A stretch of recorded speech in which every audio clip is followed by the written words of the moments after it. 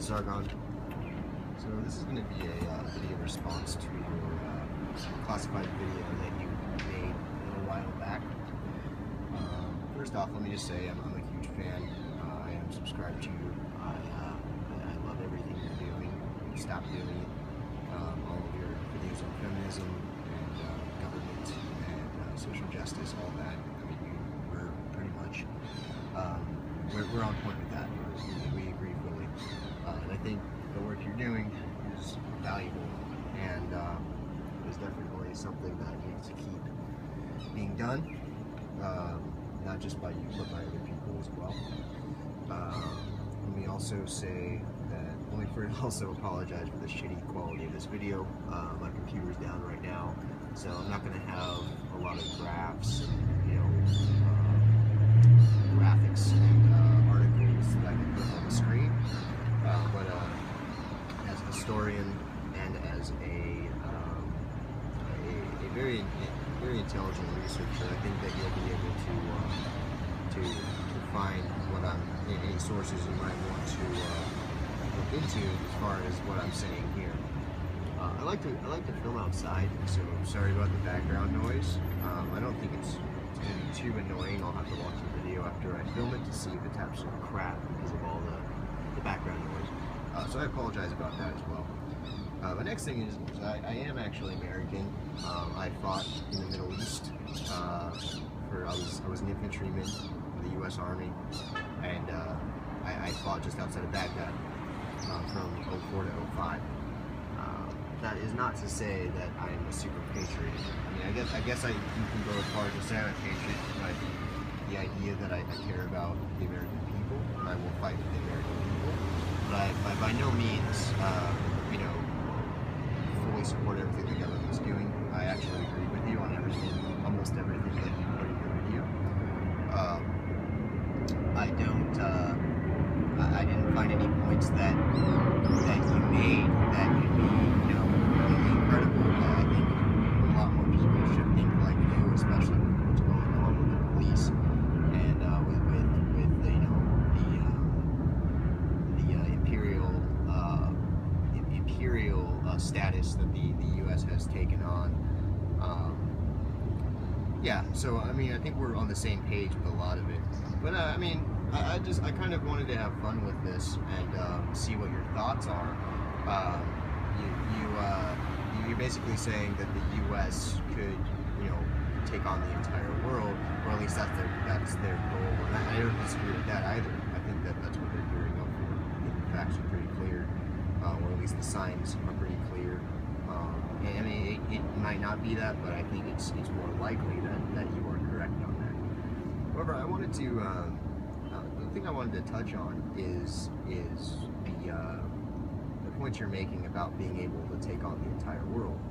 Um, I think the U.S. absolutely wants to have that image that they can, and I think they want to actually be able to do that. But as far as being able to, and I know you said they may not be able to do it yet, so don't don't get me wrong. I, you know, I, I did pay attention to that, um, but I don't I don't think that they would be able to go that far. Um, now, if you go back to, I'll, I'll, I'll, give you some of my reasonings on it. Again, I don't have, you know, a bunch of charts. It's not going to follow the same flow that you had on your video because, again, my computer's down and it's damn near impossible to, you know, go back and do a, a pretty, you know, um, uh, in-depth video when you, you only have an iPhone to work with. So I'm, I'm just going to use, uh, use words and hopefully this translates well.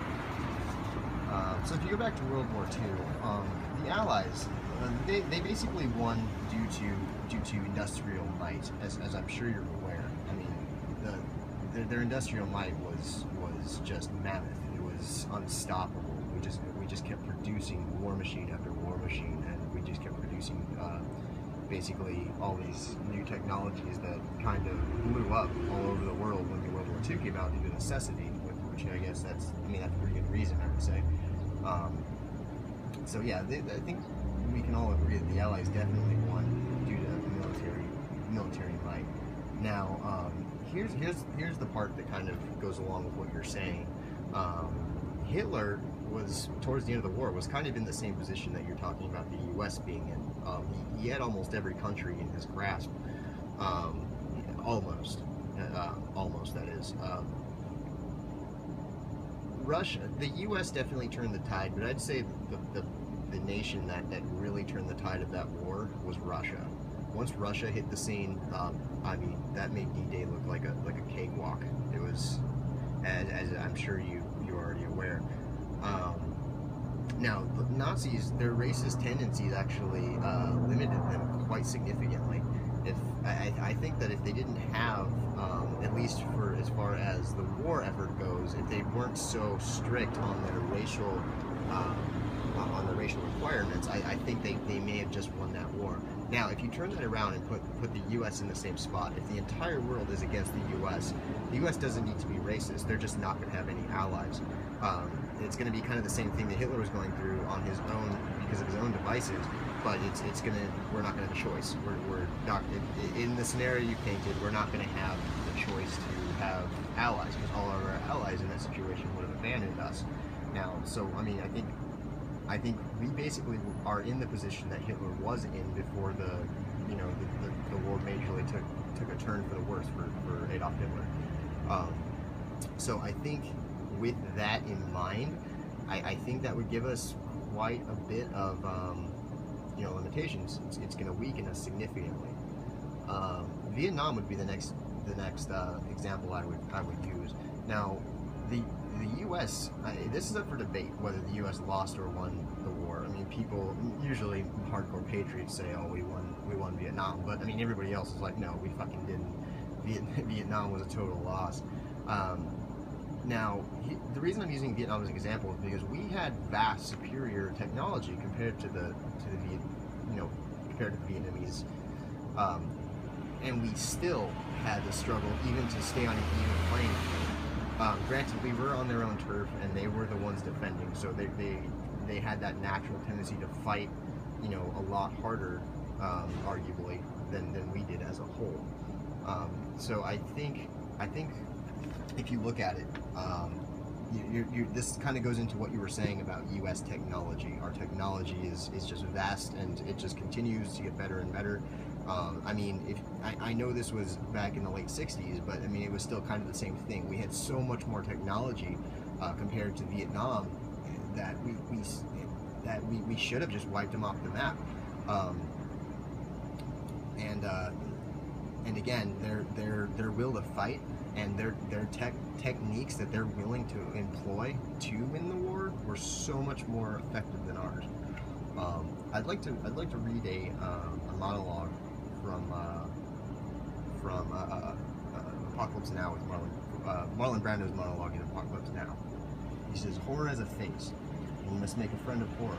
Horror and moral terror are your friends." Hold on, cigarette.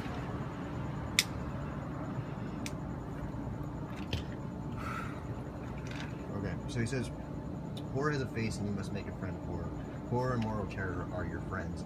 If they are not, then they are true then they are truly enemies to be feared. Or they are enemies to be feared. They are truly enemies. I remember when I was with Special Forces, it seems like a thousand centuries ago. We went into a camp to inoculate the children. We left the camp after we inoc- we had inoculated the children for polio, and this old man came running after us. And he was crying. He couldn't see. We went back there, and he had hacked off every inoculated arm. There they were in a pile, a pile of little arms, and I remember I cried. I wept like some grandmother. I wanted to tear my teeth out. I didn't know what I wanted to do. And I want to remember it. I never want to forget. And then I realized, like I was, like I was shot, like I was shot with some diamond, a diamond bullet right through my forehead. And I thought, my God, the genius of that, the genius, the will to do that, perfect, genuine, complete, crystalline pure. And then I realized they were stronger than because they could stand that. These were not monsters. These were men. Trained cadres. These were men who fought with their hearts, who had families, who had children, who were filled with love, but they still had the strength to do that. If I had ten divisions of these men, our troubles here would be over very quickly. You have to have men who are moral and at the same time are willing to utilize their primordial instincts to kill without feeling without passion, without judgment, because it's judgment that defeats us. Now, I'm not saying that to be dramatic. I'm pointing out the fact that he was right. The reason that the VC was so effective at what they did is because they were willing to do pretty much anything it took to win that war. Anything. Including the horrors that were, were painted there, and things that were much worse if you look back in history. Um, now, what American? I mean, there there are there are some brutal Americans. I mean, there are quite a few Americans that are, are willing to, to do stuff like that. But uh, as a whole, we're we we are not willing to to go to those extents. I don't care. I, I don't care who it is. Um, I don't know. That's kind of contradictory. Um, as I said, there are people like that. But um, again, as a whole, we are not willing to do that. We're not willing to go to those extreme lengths just to, you know, just to, to send a message. A lot of other countries are, and if we're at war with the entire world, um, that, that kind of includes those who are willing to, go to those depths. Um, we're not willing to do that. We, it doesn't matter if you know NATO's involved. It doesn't matter if um, the UN isn't isn't involved. Um, it, it doesn't matter. Our our people are not willing to go to those to those to those lengths when a lot of other countries, unfortunately, are. But he was right. That's that's what it takes in some cases is that mentality. And I, I, I, in my opinion, a lot of Americans just don't have that. I was again, I fought in Iraq. I, I, I could never, ever go to those, you know, go to those extremes. And most of the people I fought with could not go to those extremes. I, I don't think I met a single person that would. Um, and I was I was in a combat unit. Um, it doesn't get much more brutal than that. Um, now, another reason we didn't we didn't win in Vietnam is we weren't willing to use nuclear weapons. If, if we if we use nuclear weapons to cut off their supply chain, um, or, or any other reason, just we could have just leveled the place. But again, that, that goes into the, the same monologue. We're, we're not willing to go to those extents. We, we we learned our lesson when we when we used nuclear weapons uh, on Japan. Um, we, we learned that I mean we should we should have already known better, but we when we did that, I mean we, it really showed us, you know, yeah yeah we sent a message, but at the same time, do we really want to go to these extents? Now that's not to say that the U.S. government wouldn't do that. If we were threatened by the whole world, yeah, the government would probably would probably be okay with going to those lengths. Um, so I don't know. Uh, I, I guess I guess I, I that, that's kind of just a waste of time bringing up the nuclear nuclear argument. Um, I'll, I'll just leave that one alone. Again, I, I can't really edit on this iPhone, so I'm sorry about that. Um, now, you, you mentioned drones. Uh, that we have 800 drones, um, but th- those actually can be shot down. Um, Russia has missiles that can shoot that, that they've, they've uh, created to shoot drones down. Um, there's actually a big controversy uh, about about that. Um, I'll, let you, if you want to look into that, can. Uh, China has laser cannon that can actually shoot drones down, and China. Um, I read a few reports. I'd have to do a little bit more digging around to see how true it is, but it sounds pretty legit. Uh, that China is is might be developing 42,000 drones. Um, so if, if, if we do, I didn't check, but if we do have the 800 drones that, that you said we do, um, those aren't much against you know the, the thousand thousands that China's considering creating. Uh, and maybe you meant 800,000 drones. I should have done a little more research on these before I made this video. Uh, I'm not sure. Uh, now, uh, now, some, now, now you mentioned naval naval superiority that we, we own most of the uh, most of the, the aircraft carriers you know in the world, and that's great. Aircraft carriers dominate the sea, um, but I mean you didn't really take into account uh, submarines. And now I, I read a report that said that um, America has the strongest. Um, that, that the GFP uh, made, made a chart of, of submarine strength. America ranked at the top with 72. North Korea was just under that at 70, and Russia was just under that at 67. Now, individually, we're, we're on the same playing field with those two countries, but if, if, if it was against the entire world, um, even those two countries combined would would outrank us in submarine might, and that's that's nuclear submarines. That's um, that's pretty much just a, a, a gaggle together. Um, and that's not to mention all the other ones, the, the UK, um, you know, all these other countries that have a high um, submarine strength. Uh, so that's you, you, know you, you you mentioned you mentioned aircraft carriers. I'll, I'll mention submarines. I, I, didn't even really do anything with battleships. I'm sure that's a whole other discussion alone. Another reason I don't think the U.S. would be able to to to pull you know pull off taking on the entire world is because the U.S. heavily relies on its allies. I mean, when was the last conflict we won without allies? Even the small ones. I mean, even you know the, our Operation Iraqi Freedom. We we had the U.K. Uh, Canada even stepped in for a little while. Um, I mean, what, what conflict have we ever won with, without allies? And even with allies, I mean, it takes years and years and years to, to say that we've actually won a conflict. Um, we, we, usually it's, it's a struggle to even keep territory. Um, so yeah, um, there, there's also I mean, if you look at it, also Intel. I mean, if we have we have agents and um, Intel uh, experts in other countries all the time. Um, people would be foolish to suspect that we do not have espionage agents overseas. Who's to say that they, they also don't have them here? I think we would be foolish to think that the U.S. hasn't has not been infiltrated by espionage agents or just um, uh, intel intelligence agents. Um, I mean, we we we have to take into account that if we're going to be making military moves, um, there's going to be people who are going to also be able to intercept those plans, and, and it's going to change the game significantly. I mean, on paper, yeah. Say we were playing a game of Risk, and and the U.S. had um, their forces in all of these countries that you pointed out, how we've surrounded, uh, we've surrounded Russia, um, Asia is surrounded by the sea uh, by our forces in the sea. And say we were playing a game of Risk. I mean, yeah, on, on the board, yeah, that would be. It's a straightforward game. All the rules stay the same. But when you take into effect counterintelligence, um, you know, billions and billions of dollars that are spent on each country's intelligence agencies, that's going to change the game significantly. Um, so it's not it, it's not going to be a straightforward conflict um, like you like you painted.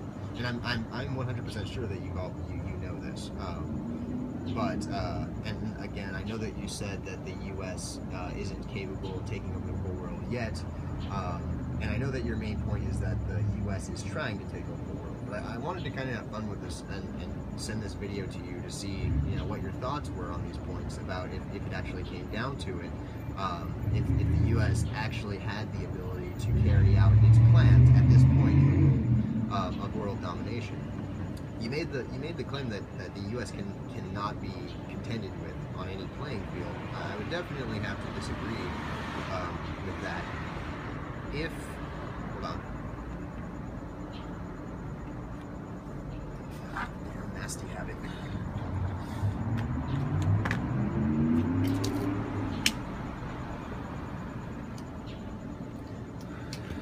mentioned the military bases as tripwire as tripwire bases, which is absolutely correct. They are there to hold off an invasion until something happens, or until they can get reinforcements there, until they come up with a plan of action or a QRF force to get out there.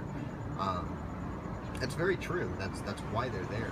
Um, but again, if if if a country did invade and attack one of these tripwire uh, tripwire installations, and say the entire world was against us, um, the, U.S. isn't going to really have an ability to get out there fast enough. If, if the UN could conglomerate a, a, huge master plot to, to overthrow us, those those bases would yeah they would be they they would send we would know those bases were being um, overrun, but you don't think that there would be forces also cutting off whatever forces we sent after them after the invading force.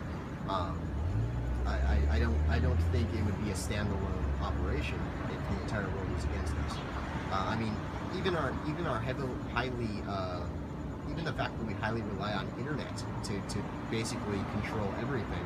Uh, it's been proven that other countries they, they they've kind of um, gone against that logic.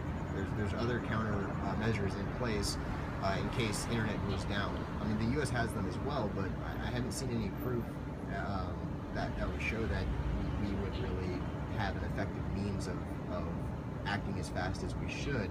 Um, whereas some of these less advanced nations that are that is not to say that their military might isn't isn't uh, significant.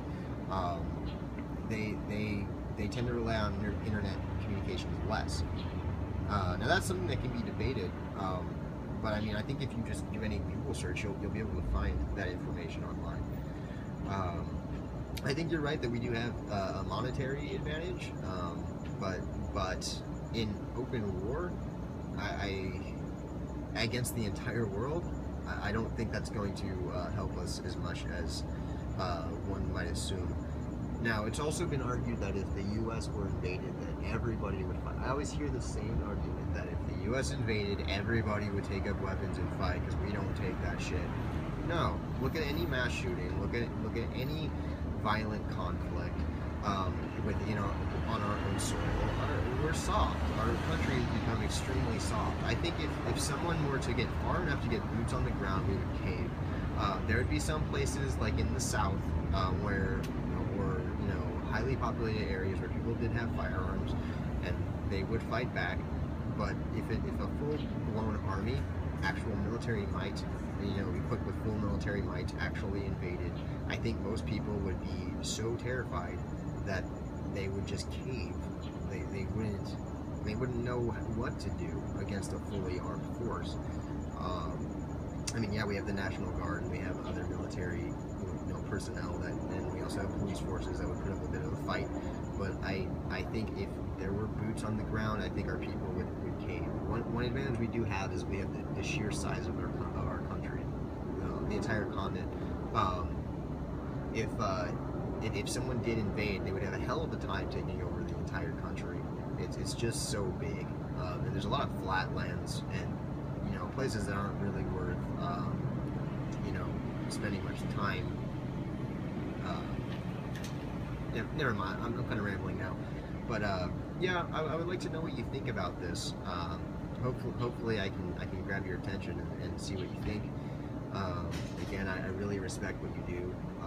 Yeah, I, I respect you as a historian. I respect you as a um, as politically uh, the work you're doing against social justice and the, the facts that you're pointing out about how our world is becoming very Orwellian and um, the, the, the scary future you're you're you're showing us that is definitely on its way is is is is something you need to keep exploiting. I think not exploiting, uh, exposing. I think. Um, and uh, yeah, keep up the good work, and um, thank you for listening. My name is Amphibian Boss, and um, have a good evening.